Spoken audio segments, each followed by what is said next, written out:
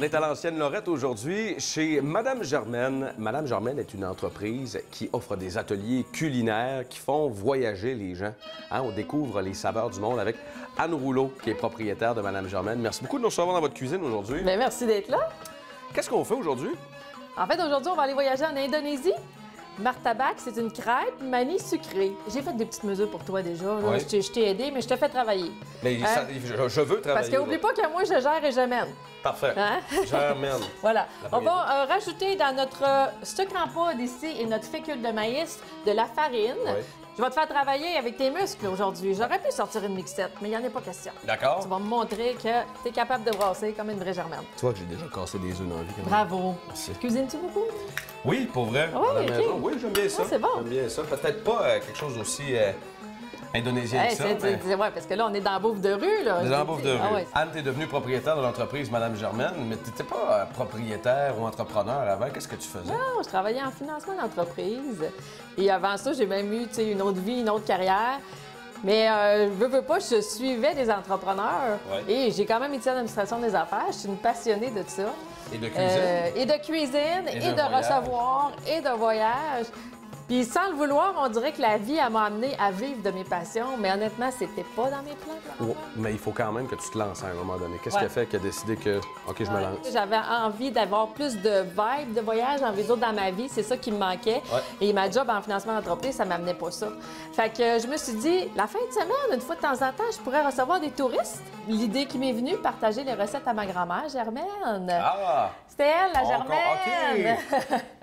fait que c'est pas moi, là. Ouais. Euh, puis, euh, ben, ça, a comme, euh, ça a commencé comme ça, tranquillement. Euh, commencé pour le fun, m'imaginant jamais pouvoir vivre de ça. Et euh, finalement, les Québécois m'ont demandé de faire les ateliers. J'ai développé des thèmes autour du monde parce que je suis une passionnée de voyage. Alors, les ateliers culinaires ont démarré et avec le temps, à travers ces six années-là, tu as multiplié ton offre. Oui, c'est ça. Euh, C'était pas prévu non plus. Sauf que la COVID est arrivée, Ouais. n'oublie pas. Mm. Et la COVID a grandement affecté mon entreprise. Moi, je venais de tomber à temps plein environ un an avant ça. Donc, l'idée qui est venue, premièrement, atelier en ligne. Et ça a fait boule de neige encore une fois. Ça a continué finalement. Puis, tant qu'à j'ai développé la boutique. Je me suis dit, on va mettre l'expérience Madame Germaine dans une boîte. Les gens vont pouvoir la vivre à la maison, Ah ouais? même pendant la COVID. Je me suis dit, il faut que les voyages embarquent. Fait que j'ai fait un premier voyage Wow. l'année passée. Et là, il y en a d'autres qui vont s'en venir. Je repars avec un groupe euh, au mois de septembre. Euh, Fait que le premier voyage, c'était en Jordanie. Là, on s'en va en Ouzbékistan. Je pense que mon défi actuel, c'est de rendre Mme Germaine plus grande qu'Anne Rouleau. Et d'ailleurs, m'en venir ici, Ouais. dans ce nouveau local-là, c'était un peu pour ça. Parce que vous étiez ailleurs au départ. J'étais dans ma maison. Ah!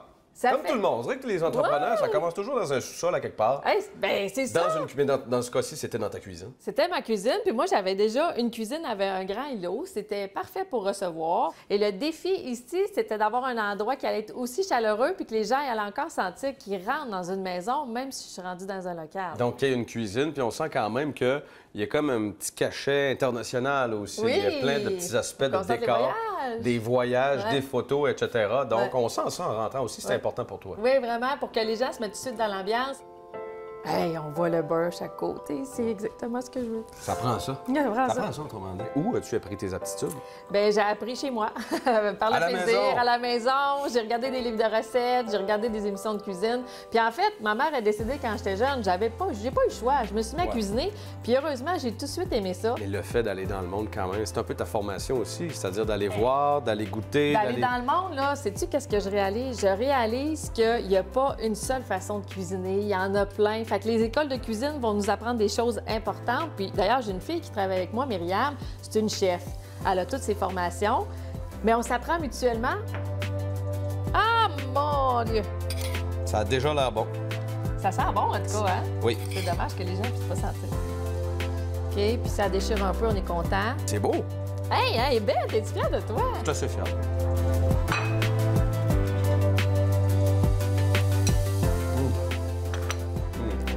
Elle est bonne, ta crêpe. Je te félicite. Hey, J'adore mon travail. Mm. Est-ce qu'on trouve toutes tes recettes euh, sur ton site web? Bien, les recettes des ateliers, les, les clients les reçoivent après l'atelier, donc ils peuvent les refaire à la maison. Mais sur mon site web, il y a plein de recettes. Merci beaucoup Merci pour euh, l'expérience que tu m'as fait vivre aujourd'hui. Et on sent la passion vraiment que tu as pour, euh, pour ton travail. Ouais. Bonne suite. Merci beaucoup.